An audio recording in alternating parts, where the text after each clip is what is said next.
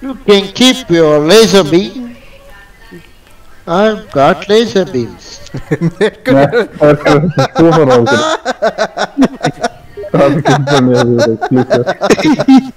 you keep your